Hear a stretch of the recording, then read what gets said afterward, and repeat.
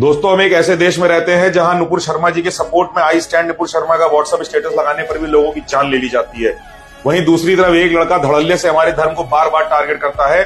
ये वही लड़का है जिसने हमारे आराध्य प्रभु श्री राम के लिए अभद्र टिप्पणियाँ की। Ram ji. Ram ji don't give fuck about your पिया मेरा पिया घर है राम जी ये वही लड़का है जिसने गोधरा कांड में हिंदुओं के जनसंहार का मज़ाक उड़ाया। गोधरा कांड क्या होता है? इसमें हिंदुओं को ज़िंदा जला दिया। मरने के बाद जलाते ना। ये वही लड़का है जिसने बजरंग दल के लिए बुरा भला कहा। किसी को भी मार देना कूट देना दादागिरी करना लाइक नहीं बजरंग दल। और ये वही लड़का है जो अपने तरीके से मास कन्वर्सेशन को बढ़ावा दे रहा है। नाजिया आपका नाम क्या? विशाल नाजिया क्या क्या विशाल मैं कुछ बोल रहा हूँ रिपीट करो।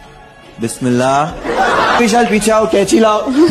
और पूरी बॉलीवुड इंडस्ट्री इसको जिताने में लगी हुई है। आए हुए। मैं तो मुनावर को कुछ गया मुनावर मुनावर को जिताने वाले। मुनावर भाई है। तो मुनावर अल्लाह मुनावर फारूक। किसी की तरह किसी की जान नहीं ले सकते हैं पर यह हमारी नैतिक ज़िम्मेदारी है कि ऐसे लोगों का विरोध करें बॉयकॉट करें और इनको जीतने ना दिया जाए। हमें कोई दिक्कत नहीं बिग बॉस में कोई भी जीते। बहुत से लोग अब मुझे एक समुदाय का विरोधी बताएँगे पर यहाँ पे मैं किसी समुदाय का विरोध नहीं कर रहा हूँ मैं एक धर्म विरोधी का विरोध कर रहा हूँ। और ये हर हिंदू की ज़िम्मेदारी है कि इसका विरोध करे और इसे जीतने ना दे। ये वीडियो आगे 10 से 20 हिंदुओं को शेयर अवश्य करना। जितने ज़्यादा से ज़्यादा हिंदुओं तक इस बात को पहुँचा सको, पहुँचा देना। जय श्री राम।